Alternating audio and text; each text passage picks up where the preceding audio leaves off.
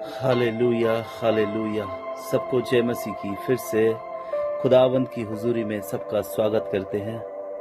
धन्यवाद इस सुंदर सुबह, सुंदर दोपहर, सुंदर शाम को यहोवा परमेश्वर ने हमें देखने के लिए मदद किया। उस परमेश्वर का कोटि कोटि धन्यवाद करते हैं। उसकी महिमा करते हैं, उसकी प्रशंसा करते हैं।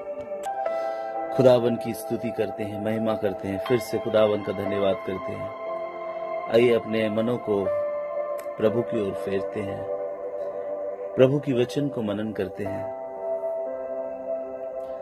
हम कंटिन्यू एक विषय को लेकर हम अध्ययन कर रहे थे और वो विषय है जो प्रार्थना में सामर्थ्य है। पिछले कुछ विषय में हमने देखा है कि किस तरह एक प्रार्थनाशील व्यक्ति हम लोग हो सकते हैं।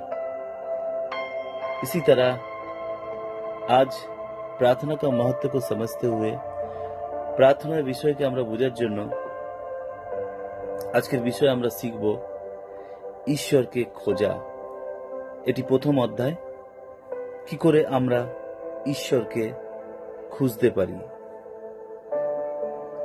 सिकिंग गॉड परमेश्वर को ढूंढना परमेश्वर को ढूंढना क्या है प्रार्थना के सा- में जो सामर्थ्य है मतलब परमेश्वर को ढूंढना। पिछले विषय को आगे बढ़ाते हुए हम देखते हैं कि प्रार्थना का जो प्रधान एक विषय है, और वो ये है कि हम परमेश्वर के उन दानों को और आशीषों को मांगने के लिए उन्हें ना ढूंढे, पर हम ढूंढे जो उस आशीषों को और वरदानों को जो देता है।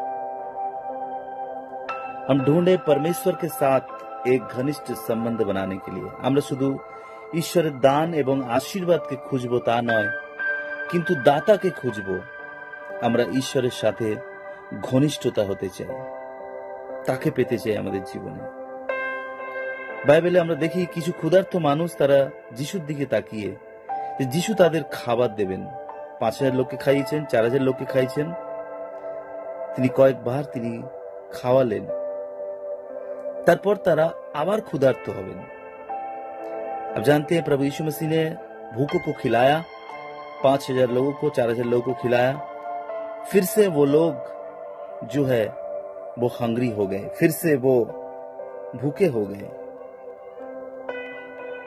তাই এক বুদ্ধি তারা লাগালো যে যিশুকে তারা রাজা বানাবেন উনোনে এক বুদ্ধি লাগা কি ইয়েশু মসিহকে हम लोग রাজা বানা डाले এবং সব সময় তাদের খাবার দেবেন যিশু লোকদের তাকে অনুসরণ করতে আপত্তি করেননি, কিন্তু তিনি বললেন, তুমি ভুল উদ্দেশ্যে আমাকে অনুসরণ করছ। যদি তুমি রুটি চাও, আমাকে খাও। আমি জীবনের রুটি। আমাকে গ্রহণ করো। আমি কি দেব সেটা নয়। আমার কাছে যে আসবে, সে কখনো ক্ষুধার্ত হবে না। যে আমাকে বিশ্বাস করবে, কখনো তৃষ্ণার্থ হবে না।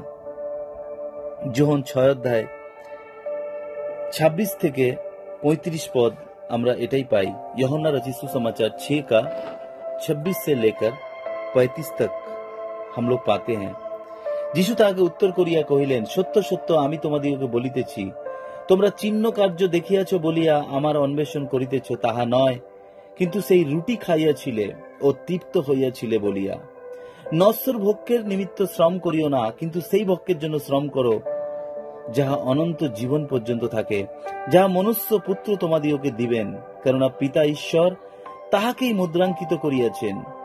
তখন তাহারা তাহাকে কহিল, আমরা যেন ঈশ্বরের কার্য করিতে পারি, এজন্য আমাদের কি করিতে হইবে? যিশু উত্তর করিয়া তাহাদিকে কহিলেন ঈশ্বরের কার্য এই যেন তাহাতে তোমরা বিশ্বাস করো, যাহাকে তিনি প্রেরণ করিয়াছেন। তাহারা তাহাকে কহিল, ভালো, আপনি এমন কি চিহ্ন কার্য করিতেছেন যা দেখি আমরা আপনাকে বিশ্বাস করিব? আপনি কি কার্য করিতেছেন? আমাদের পিতৃপুরুষ প্রান্তরে মান্না খাইয়াছিলেন, যেমন লেখা আছে, তিনি ভোজনের জন্য তাহাদিওকে স্বর্গ হইতে খাদ্য দিলেন। তাহাদিকে কহিলেন, সত্য সত্য, আমি তোমাদিকে বলিতেছি, মসি তোমাদিকে স্বর্গ হইতে খাদ্য, সে খাদ্য দেন নাই, কিন্তু আমার পিতাই তোমাদিকে স্বর্গ হইতে প্রকৃত খাদ্য দেন। কারণ ঈশ্বরের খাদ্য তাহাই যাহা স্বর্গ হইতে নামিয়া আসে ও জগৎকে জীবন দান করে, তখন তাহারা তাকে কহিল, প্রভু, চিরকাল সেই খাদ্য আমাদিকে দিন। যিশু তাদেরকে কহিলেন, আমি সেই জীবন খাদ্য।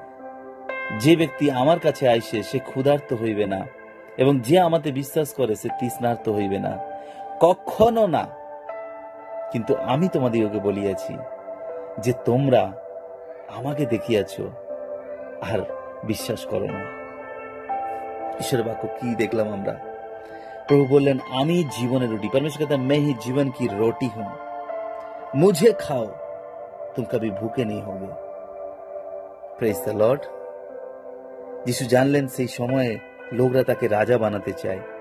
যেন তারা খাবার সঙ্গে তাদের অন্যান্য প্রয়োজনও মিটতে থাকে। এটা ছিল ঈশ্বরে, ঈশ্বরকে কাজে লাগানোর স্বার্থপর প্রচেষ্টা। এটা ভুল অগ্রাধিকার থেকে এসেছে। আমার প্রাথমিক প্রয়োজন হলো ঈশ্বরের নিকটবর্তী হওয়া। তার পিতার ভালোবাসার অংশীদার হতে, সম্পর্ক দিতে, সেই সাথে বিধান। সঠিক প্রার্থনার প্রথম উদ্দেশ্য হল ঈশ্বরকে অন্বেষণ করা, নাকি ঈশ্বরের কাছে কি পাবো সেইটাকে খোঁজা। আজ কতজন আছে যারা বলতে চায়, প্রভু, আমি তোমাকে খুঁজতে চাই। তোমার দেয়া কোনো বস্তুর উপরে আমার কোনো নজর নেই। আপনি যদি গীত সঙ্গীতা তার বিয়াল্লিশ অধ্যায় আপনি পড়েন ভজন সহিতা সামস ফর্টি টু जिस जगह में हम पाते हैं যেখানে ঈশ্বরের বাক্য বলছে হরিণ যেমন জলের স্রোত খোঁজে আমার প্রাণ তেমনি তোমাকে খোঁজে ও ঈশ্বর আমার প্রাণ ঈশ্বরের জন্য পিপাসিত জীবন্ত ঈশ্বরের জন্য একটা তৃষ্ণায় যখন শুকিয়ে যায় আমাদের গলা শুকিয়ে যায় পিপাসা পায় কোনো মানুষ হোক বা প্রাণী হোক আর সে হয়তো এমন পবিত্র জায়গা থেকে পেরোচ্ছে যেখানে হেঁটে যাচ্ছে, সেখানে এক এক ফোঁটা জল পড়ছে। আর প্রতিটি জলের ফোঁটার জন্য সে ঈশ্বরকে ধন্যবাদ জানাবে। আমরা ঈশ্বরের জন্য তৃষ্ণার্থ। হরিণ যেমন জল খোঁজে, আমার জল আছে। হালে লুইয়া হালে লুইয়া যদি জল পাই তো ভালো, যদি জল না পাই আমাদের হয়তো মরতে হবে। ঈশ্বর সম্বন্ধে গীত রচক এইরকমই অনুভব করেছিলেন। তিনি যার স্বভাবই প্রেম, তিনি তার সাথে এমন কোমল ঘনিষ্ঠতার জন্য মানুষকে সৃষ্টি করেছেন। ঈশ্বরকে তার সঙ্গে ঘনিষ্ঠ সম্পর্ক হওয়ার জন্য আমরা খুঁজব। ঈশ্বরের সমস্ত সৃষ্টির মধ্যে একমাত্র মানুষই ঈশ্বরের মন্দির হবে।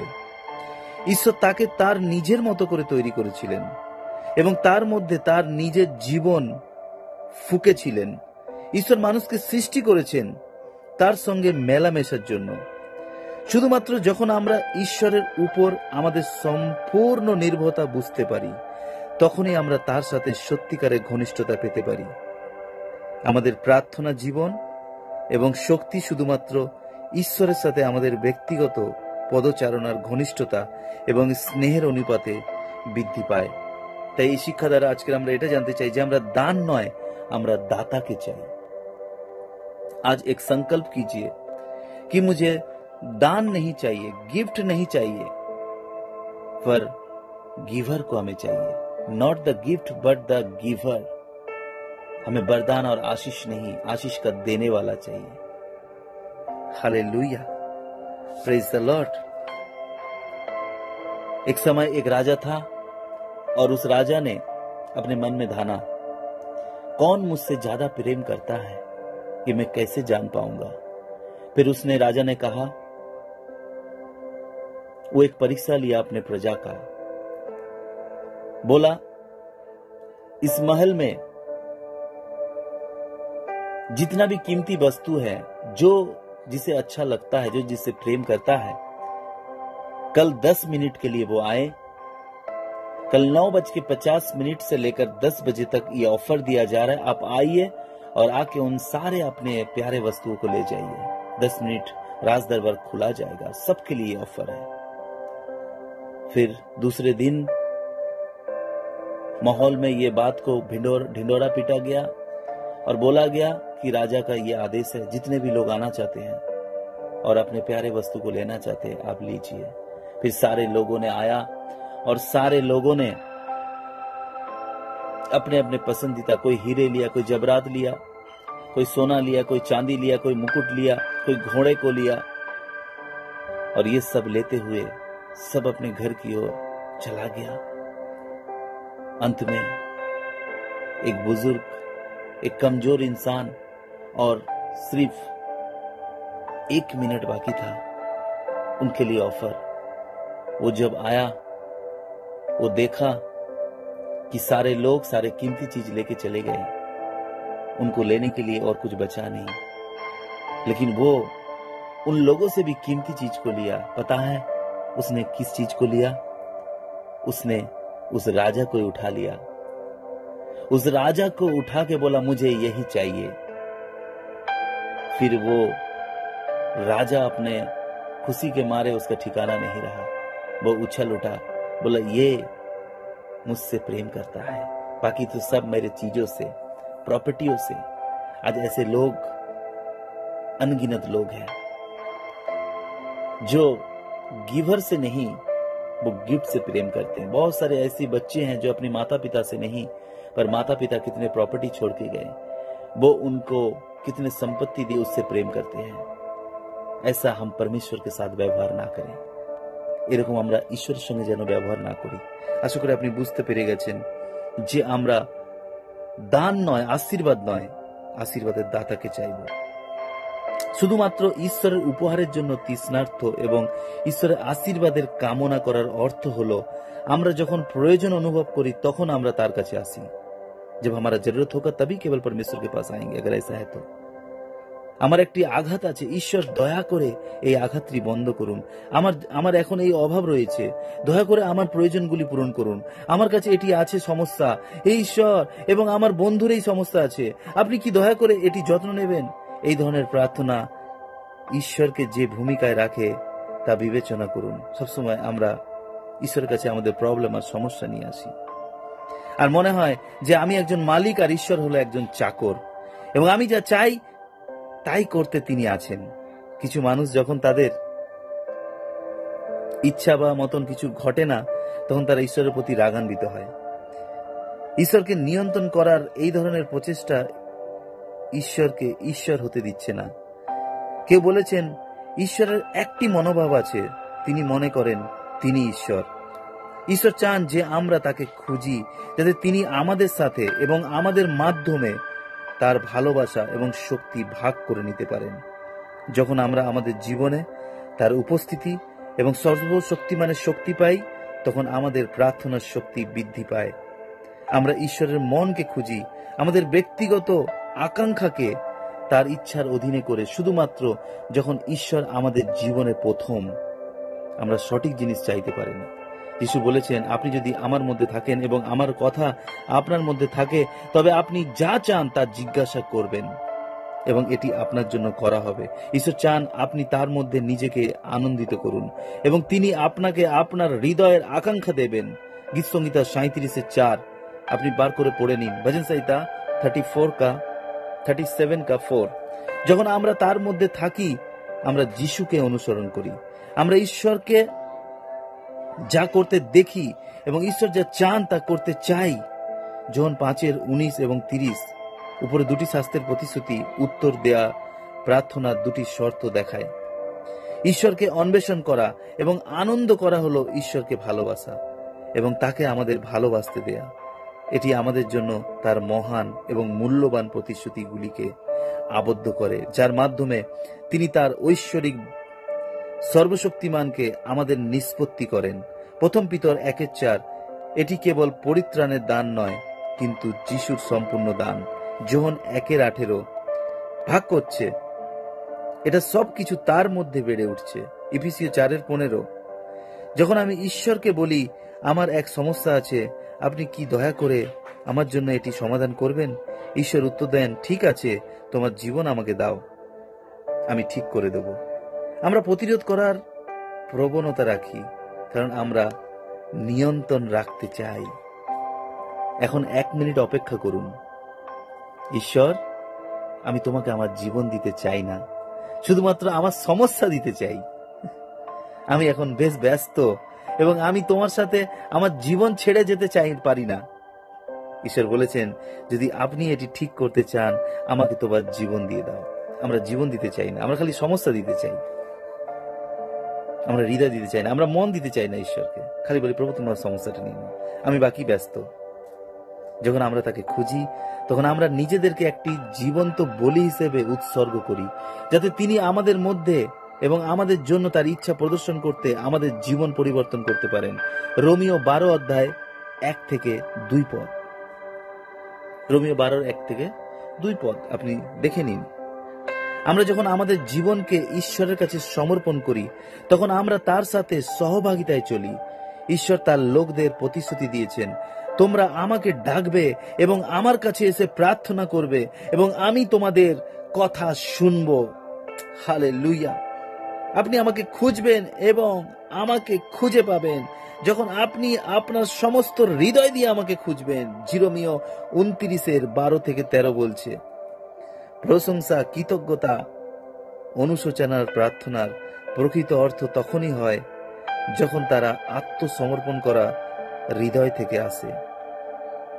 হৃদয় থেকে সমর্পণ করতে হবে। জিরোমিও উনত্রিশের বারো থেকে তেরো এটাই বলছে। সমস্ত হৃদয় দিয়ে ঈশ্বরকে খুঁজবেন। প্রশংসা, কৃতজ্ঞতা বা অনুশোচনার, প্রার্থনার প্রকৃত অর্থ তখনই হয় যখন তারা আত্মসমর্পণ করা হৃদয় থেকে আসে। এবং জীবনের থেকেও ভালো ঈশ্বরকে খোঁজ করা। রুটির চেয়ে গুরুত্বপূর্ণ, জীবনের চেয়েও গুরুত্বপূর্ণ ঈশ্বরকে খোঁজ করা। রুটি খুঁজবো না, শুধু জীবন বাঁচবো খুঁজবো না, ঈশ্বরকে খুঁজবো। প্রার্থনায় ঈশ্বরকে খুঁজবো। প্রথম অধ্যায়, এটাই ঈশ্বর আমাদেরকে শেখাচ্ছেন। আপনি প্রার্থনা করছেন, ঈশ্বরকে প্রথমে খুঁজুন। তোমার প্রেমময় উদারতা জীবনের চেয়ে উত্তম। গীত রচক বলেছেন গীত সংহিতা তেষট্টি, তিন, ভজন সাহিতা তেষট্টি কা তিন, যে জীবনের থেকে উত্তম হচ্ছে ঈশ্বরকে খোঁজ করা। আমি বরং ঈশ্বর না পেয়ে মরে যেতে চাই। এইরকম একটি চাওয়া, ঈশ্বর তোমাকে না পেলে আমি মরে যাব। মে তেরে বিনা জি না পাওয়া বেবিলনের আদেশ বেরিয়েছিল, তুমি রাজা ছাড়া অন্য কারোর কাছে প্রার্থনা করলে আমরা তোমাকে সিংহদের খাদে ফেলে দেব। আপনি জানেন সেই আদেশ বেরিয়ে রাজার কাছে প্রার্থনা করতে হবে। যদি অন্য কাছে প্রার্থনা করেছ, তোমাকে সিংহদের খাদে ফেলে দেবে। তাই তোমার পছন্দ আছে। ঈশ্বরকে খুঁজা আর সিংহরা তোমাকে মেরে ফেলবে। যদি ঈশ্বরকে খুঁজো, সিংহরা তোমাকে মেরে ফেলবে। তুমি কাকে খুঁজবে? ঈশ্বরকে খুঁজবে? নাকি ঈশ্বরের খোঁজ না করে তোমার জীবন বাঁচাবে? দানিয়েলের জন্য এটি একটি কঠিন সিদ্ধান্ত ছিল। ছিল না। তার জন্য একটা কঠিন সিদ্ধান্ত ছিল না। দানিয়েল ছয় অধ্যায় সাত থেকে দশ। তিনি জানলার কাছে গেলেন যেখানে সবাই তাকে প্রার্থনা করতে দেখতে পাচ্ছে। আমি বরং বেঁচে থাকার চেয়ে ঈশ্বরকে খুঁজতে চাই। যদি এটা পছন্দ হয়, ঈশ্বর বলছেন, আমি চাই তুমি আমাকে খুঁজো। ঈশ্বরকে খুঁজবো বেঁচে থাকার থেকেও বেশি। তুমি আমার পুত্র যিশুকে যেভাবে চাও এবং তুমি তোমার মধ্যে থাকা তার ধার্মিকতা চাও, ধার্মিকতাকে চাও। তুমি আমাকে খুঁজো, যেমন আপনি আমার পবিত্র আত্মার সন্ধান করছেন, যাতে তিনি এসে আপনাকে আমার শক্তি এবং আশীর্বাদ দিতে পারেন। আমরা ভুল জিনিসের জন্য জিজ্ঞাসা করব না। জাকব চারের তিন। প্রার্থনা বলার মধ্যে সংবেদনশীল মনোভাব পরীক্ষা করে। আপনি যখন চাচ্ছেন ঈশ্বরের কাছে, তখন আপনি পাবেন না, কারণ আপনি ভুল উদ্দেশ্য নিয়ে চাচ্ছেন। তখন আপনি পাবেন না। আপনি যেটা চাইছেন, অনেক সময় চাইলেও পাওয়া যায় না, কারণ আমাদের উদ্দেশ্য ভুল থাকে। ঈশ্বর সেটা জানেন। অনেক বিষয় আমার কাছে উদাহরণ আছে, কিন্তু সময় কম আছে, তাই আমি উদাহরণটা এখন দিচ্ছি না, আপনি বুঝে নিন। সমজদারের জন্য ইশারা কাফি। অনেক সময় যেটা চাই, ওটা পাই না, কারণ ভুলভাবে চাই। জাকব চারের তিন এটাই বলছে আমাদেরকে। কারণ আপনি যা পান, তা আপনার আনন্দের জন্য ব্যয় করতে পারেন। ঈশ্বরের মহিমার জন্য নয়, তার জন্য আপনি এবং আমি পাই না। আপনি অধ্যয়ন করুন। আমাদের যখন ব্যথা বা সমস্যা হয়, তখন আমরা বলি, ঈশ্বর, আমাকে সাহায্য করুন, আমার সমস্যা দূর করুন। যারা আধ্যাত্মিক যুদ্ধ সম্পর্কে জানেন, তারা হয়তো বলতে পারেন, এখান থেকে বের হও, শয়তান, যিশুর নামে। আমরা লড়াই করি, কিন্তু জিততে পারি না। তারপরে আমরা ঈশ্বরের মৃদু স্বর শুনতে পাই যে, আপনি ভুল লোকের সামনে সাথে কথা বলছেন। এটা আমি আমি আপনাকে এটি একটি উদ্দেশ্যের জন্য এই সমস্যাগুলি করতে দিয়েছি। এটি আমার শৃঙ্খলার অংশ এবং এটি একটি নির্ভরশীল এবং বিশ্বাসী সম্পর্কের প্রতি আমার আহ্বান। সন্ধান করুন, আমি শুধু ত্রাণ নয়, শুধু আমার উপহার নয়। ঈশ্বর এটা বললেন এই আগে শব্দটা। শুধু ঈশ্বরের উদ্ধার, ঈশ্বরের উপহার, শুধু খোঁজ করব নয়। আমরা ঈশ্বরকে খোঁজ করব। তাই প্রথম অধ্যায় আমরা এটাই अध्ययन दाता के দাতাকে খুঁজব। पहले अध्याय में हम यही देखे कि हम उस देने वाले को ढूंढेंगे ये होगा हमारा प्रार्थना का सबसे पहले विषय परमेश्वर आप सबको को आशीष करे इस मध्य बुधवार के इस ऑनलाइन बाइबल स्टडी में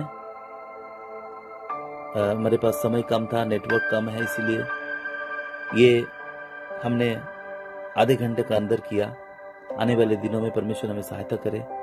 कंटिन्यू आपको एक चैप्टर सिखाए। ये चैप्टर वन का पहला पार्ट है। दूसरा पार्ट के लिए हम अगले हफ़्ते वेट करें। गॉड ब्लेस यू परमेश्वर आप सबों सबको आशीष करे। यीशु मसीह के नाम से मांगते हैं। आमीन आमीन एंड आमीन।